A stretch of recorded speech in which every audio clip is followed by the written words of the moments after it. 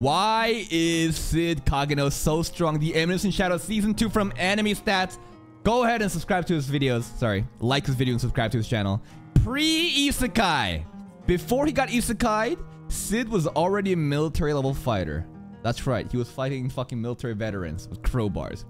Pre-Isekai, in the real world, he practiced pretty much every form of martial arts to become stronger. And then we get Isekai, starter pack. Cid was reincarnated with his full consciousness. And even as a baby, he could immediately sense magic. Oh wait, did you guys see that there? We saw Baldi for a second. Never see. If I see an opportunity to call out Baldi, I'll always do it. Baldi. Now, genetics. He reincarnated as a member of a notable noble family. With a long history. Oh wait. Wait, wait, wait. With a long history of raising talented Dark Knights. Are you telling me the fucking Baldy daddy was actually a good Dark Knight too? I refuse to believe that. This means that Cid is born with fighting a uh Cid is born with fighting and magical English? Fighting magical abilities that are above average. He's basically just a little bit gifted because the family was inherently training Dark Knights throughout all their lineage. Now we got Stylish Bandit Slayer. Training. Cid began training and developing his magic in early childhood. Just slaying fucking bandits going around. Saving a lot of girls, actually. Fucking Yukime, fucking Rose. Don't forget all the Shadow Garden girls. Wait. Baldi married into the family? Okay. now things are making more sense on why they shouldn't have dad a little bit more now. If he's not, you know, the if he's not the direct, you know, stem of the family and he married into the mom. okay, maybe the mom is super OP and Baldi isn't. Alright, next one. We got the magic control. He used meditation practices he learned in the real world to perfect his control of magic. Is that true? Meditation practices? I didn't know he did shit like that. Then again, how did he have full grasp or intuition of how magic works in this world as soon as he was born? I don't know. Maybe he did, yes? Alright, I'll, I'll take your word for it. Tough body. His body is enhanced by magic and surpasses average human limitations. Okay, I mean, I thought the point of the slime suit is also to like enhance your body on top of that because it's like magic augmented and stuff like that, but okay. Ability boost? He can use magic to give temporary boost to his agility, strength, and endurance. Yeah, straight up. That's what the magic does. And the slime suit also like just makes you stronger too, right? OP magic. He can transfer his magic. Wait, wait. He can transfer his magic to other people carrying Curse of Diablos. So that's like the possession, the curing of the Curse of Diablos is like mana overload, right? That's the that's the possession. So you like make sure the body can handle the amount of mana being output so they don't turn into like blobs. And what else? Increasing the receiver's magic power. Yeah, this is like directly true. Like, like aside from the Shadow Garden girls, you have um, what's her name? Have Victoria and you have Rose, who are also directly given powers. Who are said, you know, this is like special compared to let's say 664 and 665. Okay, you got Healer. This is new. I mean, this isn't new, but it's obviously a little bit newer in season two of Recovery Atomic. Cid can instantly heal severe injuries for himself and others. Like, how does that work? I mean, you don't really have to ask, but he can just have only kind of just, he, he just like fucking, just heal. His self regen, like he, he gets cut, like he just fucking heals up immediately. Any fucking body parts. I mean, we did see himself fucking pretty much like self resurrect himself in the terrorist arc, so yeah. What else can he do? Can he like, um, what's the word? Like resurrect people? If people are dead, just bring them back to life? That might be a little bit too much, right?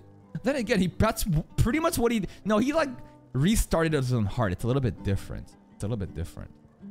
Poison immunity. Cid is immune to almost every type of poison. Interesting fact. In, in case we ever encounter like a poison enemy, we can just be like, oh, he's just resistant. Organ relocation. That's right. He can shift his organs around, right? To avoid the vital damage to it. What is this? Unnerfable. No, he's just coming up with these terms. With his absolute control of magic, He can bypass the effects of anti-magic devices. No, this is actually true. That was that's directly from um season one, right? During the terrorist arc, there was the artifact that like um put a, a veil around the school to prevent any magic from being used, but he was still able to use a bit of it, right? So I guess I mean he got nerfed, but he I mean he was the only one that was still able to use magic. Next one, the one that we all know. I am atomic. Cid's main power comes from his nuclear magic, which is the pinnacle of his magical expertise. Now, is this actually called nuclear magic? Sometimes I don't know if these terms are actual terminologies from the manga or the light novel, or if anime stats are just making shit up. Either way, it's still cool. Yeah, he did that at the Sanctuary too, right? And the best thing about, you know, those moments of the Sanctuary or the school, you know, with the anti-magic stuff, is the fact that girls' slime suits, the slime suits slowly become undone more and more. Nuclear magic is a made-up word, made-up term. Okay. I mean, look, he's, he's still going with it. Do you see this? Nuclear magic works by compressing magic into a single point and releasing it at once. I think the mechanics of how I am atomic, you know, that kind of summarizes it, but does nuclear magic exist or not? Eh, probably not. Unique fighter. Cid has his own unique fighting style. Wow. Very descriptive. Thank you. I think that his own style is very basic and rudimentary and fundamental because he puts an emphasis on, you know, min-maxing, no wasted movements. Every stroke, that's right, every stroke of his Excalibur should be intentional. People might think it's boring, but doing this makes it very efficient. But he also has a lot of different styles. He has the crowbar styles too, right? He and he sometimes he just fucking fights with martial arts too now that I think about it, he's actually very versatile and he's well he's well, I mean, that's what the whole point of his training was to learn every type of martial arts and try to understand how everything works. He also just like plays with his opponents to have like a conversation or a dialogue to see if they're capable of entertaining him. And if not, he just ends them quickly. Refined style. He creates it by combining combat knowledge from his old world and the new one. I don't know what this means here. Refined style. He created it by combining combat knowledge from his old world and new one. So I guess his like refined fighting style is basically built upon the foundations from his old world of whatever swordsmanship and different martial arts that he learned. Efficient. His fighting style minimizes movement and magic usage to efficiently win fights. Yeah.